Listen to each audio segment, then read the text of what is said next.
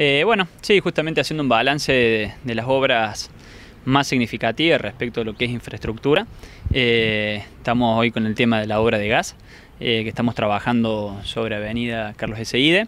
Ya prácticamente, ya está prácticamente completa la avenida, que se, se, trabajó desde Clodomiro Torres y termina la obra sobre la avenida en la plaza. Desde la plaza dobla por Libertador San Martín y va hasta el hospital y después va un tramo desde la terminal, con la gente se ubique, hasta eh, la canchita de atletismo actual, digamos, llega hasta esa esquina.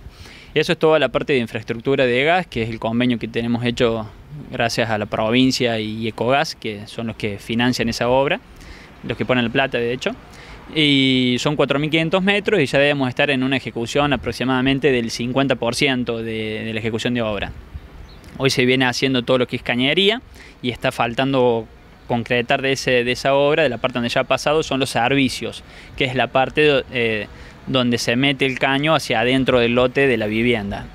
Juan Pablo, eh, permíteme hablar sobre esta cuestión. Eh, de alguna manera se puede decir que tanto la provincia como Ecogas ha cumplido con los términos y los tiempos que ya se habían pactado, porque ya vemos que van bastante adelantados. Sí, sí, sí han cumplido en 100%, por lo menos es una obra que ha, sido muy ágil, o sea, desde la, desde la, licitación, desde el convenio y el comienzo de obra y los plazos que ellos tienen establecidos, que es una obra de cuatro meses, de estos 4.500 metros, la verdad que vienen a muy buen régimen de, laburo, así que van a cumplir con los términos acordados, así que eh, seguramente para lo que es principio del año que viene, eh, seguramente ya estos 4.000 metros van a tener disponibilidad de servicio de gas siempre estamos supeditados y dependiendo de que gas, eh, Ecogas del servicio, ¿no? Pero la obra ya va a estar obviamente para ser usada a fin de año.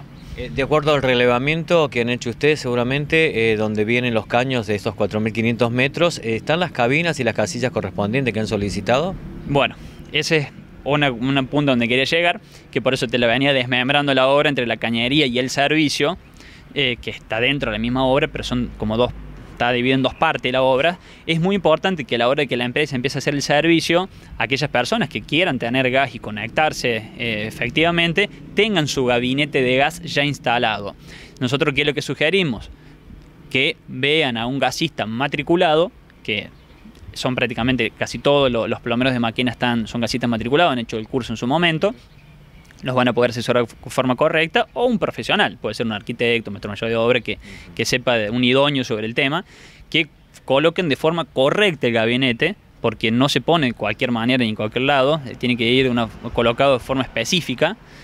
Y bueno, eso es importante, que pongan el gabinete para que les hagan el servicio. Si el gabinete no está puesto, en esta ejecución, en este momento de la obra, no le van a dejar puesto el servicio. Lo van a tener que solicitar a futuro y lo van a tener que hacer ante COGAS y bueno, y va a tener un costo extra.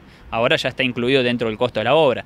El tema es que ahora los, que, estén en los que tienen el gabinete puesto le van a dejar el cañito adentro de la casa, dentro del gabinete, y los, gabinetes que no estén, no.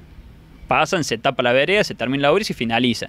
Le van a tener que pedir a posterior. ¿Es mucho el faltante de gabinetes? Sí, sí, de cuando arrancó la obra no había ninguno, de hecho, o sea, y por ahí de los pocos que había no cumplían con la reglamentación porque eh, no estaban homologados por el Enargas y algunos estaban mal colocados, que yo, uno tenía una columna adelante, otro tenía un portón cerca, eh, una entrada vehicular cerca.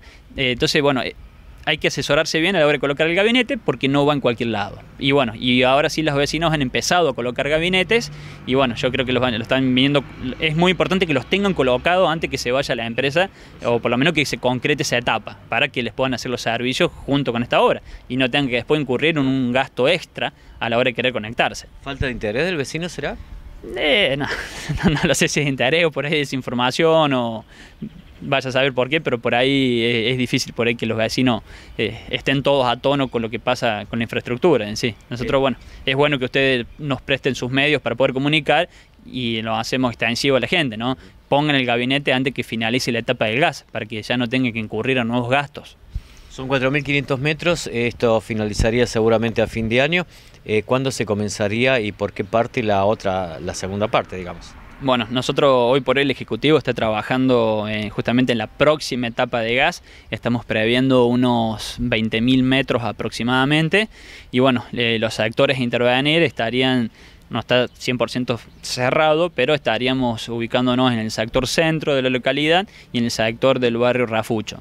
No te voy a especificar calle por calle, pero serían los dos sectores donde atacaríamos la primera, la siguiente etapa, que son unos 20.000 metros. De todas maneras, hay que terminar de cerrar presupuestos, números, eh, definir bien los últimos metros para ajustar la obra, pero sí se, ya se está trabajando en eso y no sé, por decirte, de acá un, par de meses ya vamos a tener ya el proyecto terminado, presentado ante la provincia, porque esta nueva etapa va a venir con un financiamiento de la provincia, otra parte puede que la tengamos que hacer por administración, pero en gran medida va a venir financiada por parte de la provincia. Pero bueno, los detalles finitos se los vamos a comentar cuando esté todo ya cerrado el proyecto en general.